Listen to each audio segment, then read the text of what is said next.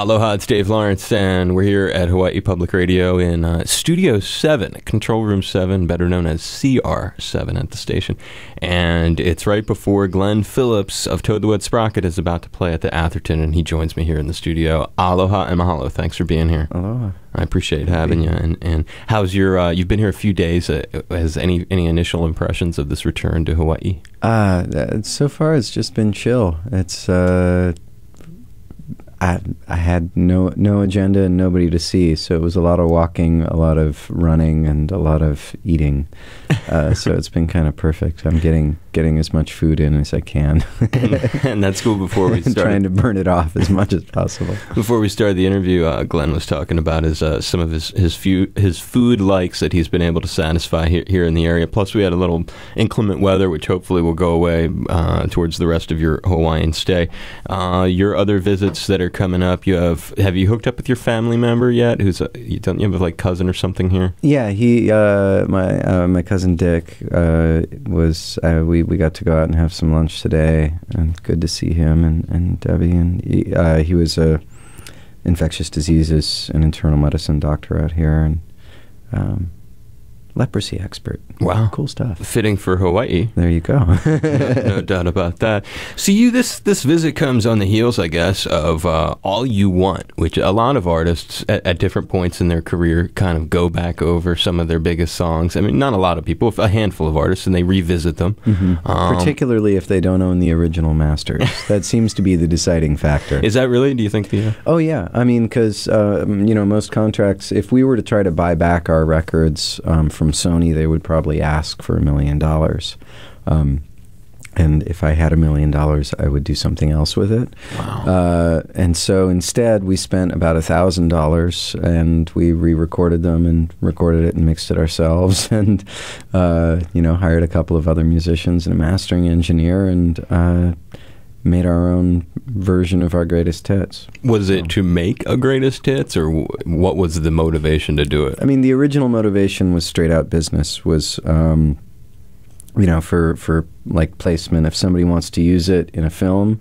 Uh, and it. they call up Sony. It takes a long time. There's a lot of lawyers. It costs more than they want to afford, and then they don't use it. Whereas if they come to us, uh, we can be quicker and cheaper and, and make more of the money at the and, end. And actually get the songs used. It's just it's one of those things, and Sony isn't evil or bad. They're just huge, and we're low on the priority list. So they toss out a standard quote, and it's more than we can get these days. And so um, this just lets us own some part of you know what we've done. I mean, and so I mean that was the impetus to do it, but getting back in the studio, we hadn't recorded together in you know 15 years or something, and so it was a very mellow way to get back and test the waters of how we work together again, um, and. Uh, and re-examine some of the songs are kind of rearranged, new tempos. Um, you know, it was really fun to take this stuff back and kind of look at how he did it, take it apart, and, and do it again. sure. So, and when you talk about that, that's cer- certainly one of the things that, for on the fan end of, of w- what we've been talking about, when an artist re-records stuff, it's it can be often rewarding because the arrangements may be a little different. It may reflect mm-hmm. some of where the artist has been. One of the things that you have gotten to do in between when those songs were recorded and now and re-recorded, you got to work with one of music's most legendary bassists multi instrumentalist, keyboardist, and arranger, John Paul Jones. Mm-hmm. Uh, and not a lot of people get that experience. And I'm hoping that you can kind of just go through your mind a little bit and share with the rest of us, you know, us lower people on earth, how'd you get that chance? You're kind of a Zeppelin fan. I, I, have it. I have it in me. uh, it was it was really random, and I actually felt pretty unworthy. He was a um, a big Nickel Creek fan and he'd gone out to Merlefest, this uh, bluegrass festival, right hung out with them, and he he he plays mandolin and was just in love with Chris Thile's playing because, of course, who isn't?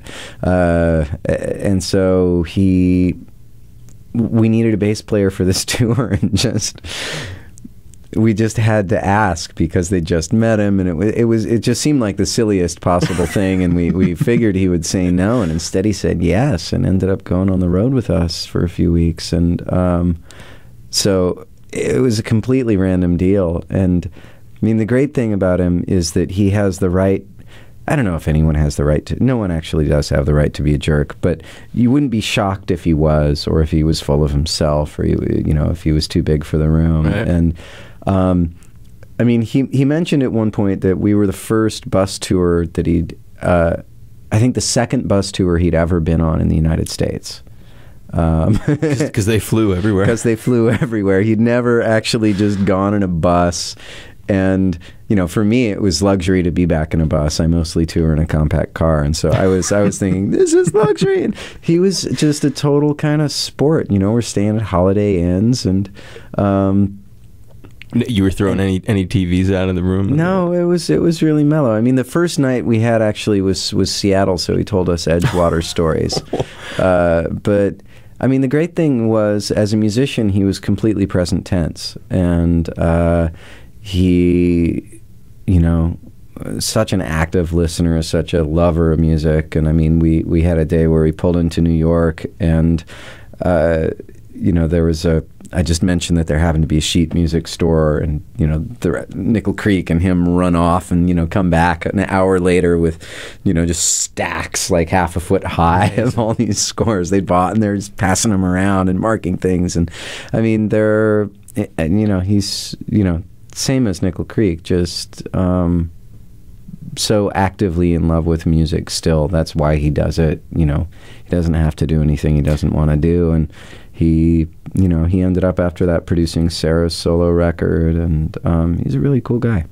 Uh, yeah, I saw him solo one time, and I was very fortunate. I had a listener who who gave me the chance to buy her extra ticket to the Zeppelin reunion, and I actually saw that show in 07 at the O2, and just curious if there was a thing getting to be around a guy who can arrange and has that kind of knack to um, make songs into something. Is there anything you learned from your time with him that you've come away from like, man, I picked that up from John Paul Jones? because of I mean the thing was he came out and he wasn't terribly rehearsed you know we had to rehearse and get the show up really quickly and so we didn't do a lot of taking apart of the songs um, he hadn't played on the record so it was learning a whole bunch of songs and then going and playing a whole bunch of shows Mm-hmm. um, I mean and you know there's subtle things you pick up as far as pocket and as far as listen you know he's an incredibly active listener um, but we weren't So maybe that's something you got. From yeah, we weren't in a production. I have a feeling Sara could tell you a lot more Sure. about about what he brings in. But I mean, he's he's an incredibly musical guy. I mean, um, and, and even I, I ended up in London with my family for a while, and I had one tiny little show, and I, I called him up. Was in, in intent on not telling him I was playing because I didn't want to be that guy at all. And he ended up, you know, it's like, well, you're playing, you're playing a show here, aren't you? Are you, are you doing something here? It's like, well, just with the family. Well, uh, you know, eventually told him I was playing this little show, and he's like, could I bring my mandolin? It's, yes.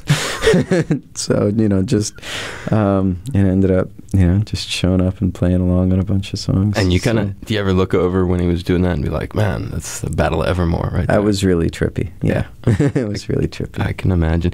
A few of the songs, I just wanted you to take us through them personally, uh, just while I had you here. Uh, and just your recollection on the lyrical inspiration for them and anything that comes to mind about the recording of them. Some of them have really become uh, they're standards on the radio. You know, the classic alternative format has made these songs uh, radio standards. I hear them all the time when I'm shopping at the Waikiki Shopping Plaza. and uh, something's always wrong. Uh, a brilliant introduction on sonically. If you can talk a little bit about where any of that came from. Um, where did that come from? Todd actually wrote a lot of the music on that. Um, we would kind of throw things back and forth. Sometimes he'd have music, I'd throw in lyrics. Uh, sometimes I'd add parts in, and so I think the counter melody stuff and the kind of bridge oriented parts I threw in. But um, he just had, you know, that that basic melody in that music, and the one line "Something's always wrong." He kept singing at the end of, and so I just kind of wrote around that one phrase. Uh, uh, I mean, it's a it's a general mishmash, more of a feeling piece. It's I, I mean, I usually I'm not one of those guys who tends to have a single story and I write yeah. a song about No, sure. that. Um, It's just good to like hear your to write.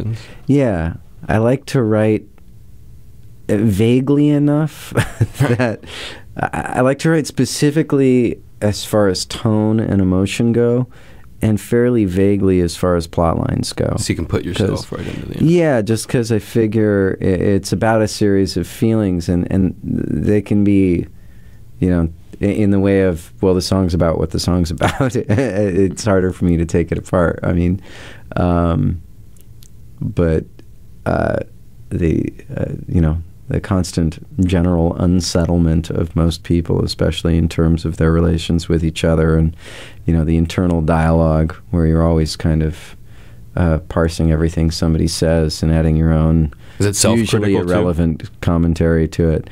Oh, it's it's always self-critical. So as much self-critical as anything else. self-critical is kind of my specialty. Yeah, I just figured, I, I figured as much with that. Um, Although uh, the one thing I'm proud of in that song, uh, I'm particularly proud of the, the, the hidden, the semi-hidden collectives, the Brace of Hopes and the Pride of Innocence. Uh, get it? It's collectives. mm, Whoa. um, Fall Down. It's the probably the most rocking hit that you Mhm. had. Um, it maybe transcends uh, genres, so to speak, in some ways. Uh, where where is it when you hear it today? Is there something that comes to mind that where where it all started? Yeah, I mean that one is a little more of a specific story. It was just kind of a, you know, friend of a friend when I was. I mean, I was so young when I was writing those songs. So I mean, that was probably. Um, wow, that would have been written Twenty years ago. mm, more because I would have been 18, 19, probably 19 at the time because um, it was about it, it was about a friend that was my ex girl friend of my ex girlfriend's before I met my wife and I met her when I was 18 so uh, so 17 or 18 that's a long time ago Amazing the enduring Uh, quality of it. I guess.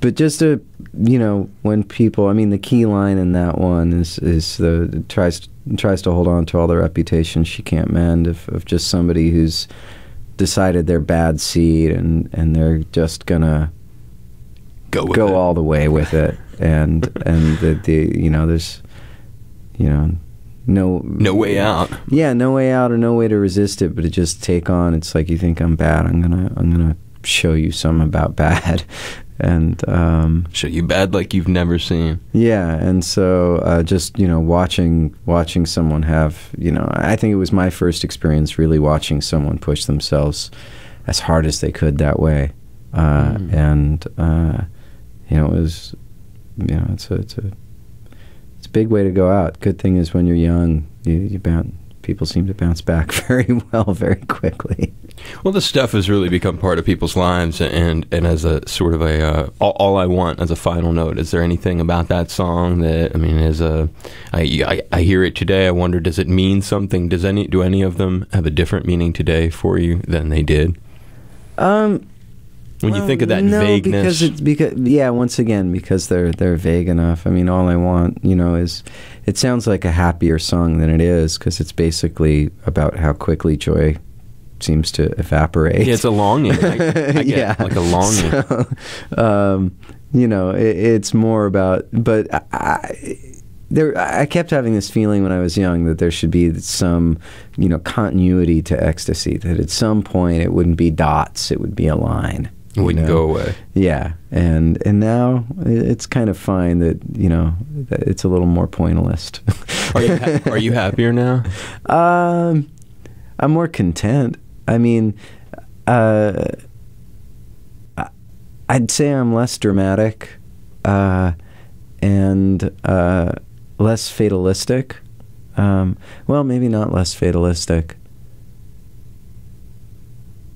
Less concerned with personal drama and plot lines. Um, I, I, I, I think the older you get, the more you realize that everybody kind of plays every character in every play, uh, and Wow. we do them over and over, and and that it's kind of the way you play the character and not necessarily the things you do.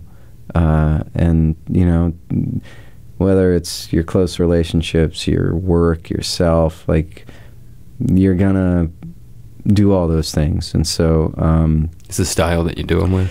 Well, it's the style you do them with, and it's the kind of grace uh, that you forgive yourself and the people around you for their missteps, uh, or even if you think of them as missteps. I mean, it's just it seems like we, you know, we do all the same stuff over and over, and uh, you know, holding judgment over people for that it does it doesn't seem like a very good use of time. Redemption's um, an important thing. Yeah, I suppose so. Or maybe it's not even redemption so much as it's process, which doesn't mean there isn't such a thing as maybe evil or wrong, but um, means things are are more subtle, uh, have more reasons. You know, there, there's always something more to look at.